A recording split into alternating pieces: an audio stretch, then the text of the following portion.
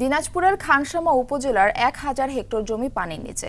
ফলে ধান উৎপাদন সম্ভব না হয় আর্থিক ক্ষতিসহ মানবেতর জীবনযাপন করছেন দশ হাজার পরিবার। তবে খাল খনন করে জমির একাংশে আমন ধানের বাম্পার ফলন হলেও ওই এক হাজার হেক্টর জমির পানি নিষ্কাশন ব্যবস্থা না থাকায় হচ্ছে না আবাদ। আর এই অবস্থার জন্য প্রশাসনের উদাসীনতাকে দায়ী করছেন ভুক্তভোগীরা। দিনাজপুর থেকে আনিস হোসেন দুলালের তথ্য ছবিতে বিস্তারিত, শাহাবুদ্দিন সাহাবের রিপোর্টে।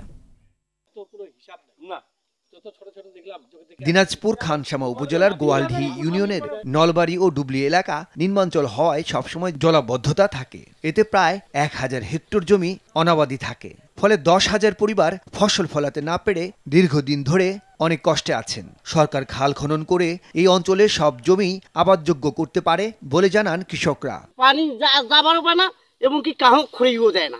সেই অন্তে এবার খুঁড়ি দিয়া এই জমি বিঘা প্রতি তিরিশ মন ধান করে এসেছে আমার পাঁচ ছয় বিঘা জমি পড়ে আছে আমি এই পানির জন্য আবাদ করতে পারতেছি না। যদি এটা কেরানো হইতো তাহলে সুন্দরভাবে আবাদ করা যাইতো। আমরা আমার পরিবার বাঁচতো আমরা বাঁচতাম। ক্যালেন্ডটা করলে আমাদের খুব জনগণের উপকার হইবে এবং ওই যে ধান চাল পায়াত এইলা আবাদ হইলে আমার খুব সুন্দর হবে আর কি। হ্যাঁ পরিবার বাঁচিবে। এটা গোটা দোলা পানি ছিল পানি ছাড়া এলা কোনো ছিল না মাছও তো আবাদ হয়েছিল না খালি কচু দিয়ে বোঝা আছিল। এইবারকার মেম্বার হয়ে আর এই চেয়ারম্যান হয়ে ভাই শুদ্ধ বুদ্ধি করিয়া এই ক্যানেলটা খড়ি দিছি। ক্যানেলটা পুরা দুই, তিন কিলো খুঁজছি, আরও খড়িবার আছে ওইদিকে। এই খোরাতে এই নলবাড়িতে কিন্তু এই হাজার হাজার বিঘা কিন্তু আবাদ হয়েছে। এই এই জমিটা কিন্তু ধান আগে হইতো না। জলবদ্ধ পানির কারণে কুচুরিপানা লাগিয়ে আছে। ফলে কোনো আবাদ জমিতে আবাদ আবাদবাড়ি হয় না। তো যদি যে কোনো প্রকারে যদি এটা মানে নিষ্কাশন করার যদি ব্যবস্থা করতো হ্যাঁ তাহলে সবাই কৃষকেরও সুবিধা হইতো। আমার পাঁচ সাত বিঘা মাটি আজ দুই তিন বছর হাতে আবাদ হয় না। ওই ক্যালেনের কারণে। জল নিষ্কাশনের জায়গা নাই। এই যে নিচা মাটি গেলা কোনো আবাদ হইতো না। এইবার যে যে ডারা খুঁড়িয়া যে আবাদটা হয়েছে তো এতে মানুষ অনেক ইয়া আর আর যদি ওই যে পাঁচিলিয়াটা যদি খোড়ে ন- ওই যে ডারার আমার যে দুবলি আরও বেশি ওই পাশে যদি খোড়ে তা আরও মানে আবাদটা বেশি হইবে। নিচা মাটি গেলা সহ আবাদ হইবে। খাল তৈরি করে জলাবদ্ধ জমির পানি নিষ্কাশনের মাধ্যমে এবার আমন ধানের বাম্পার ফলন হওয়ায় খুশি কৃষকরা।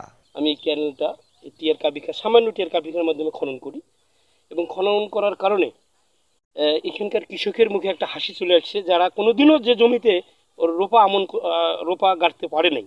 এবার কিন্তু তারা করেছে। যার কারণে যে অনেকের জমি বিশ পঁচিশ ত্রিশ মানে মন করে বিঘায় ধান আসছে।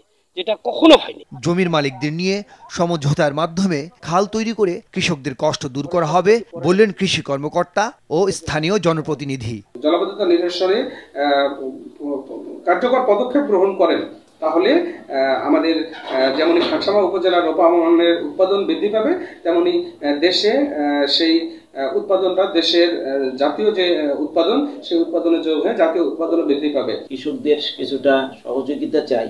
যে আমাদের এই ক্যানেলটা খননের ক্ষেত্রে যে জমিটা যাবে, তারা উপকৃত হবে। তারা এই এটা অটো ফার্টেল ল্যান্ড আমাদের ধান চাষের জন্য অত্যন্ত উপযোগী জায়গা।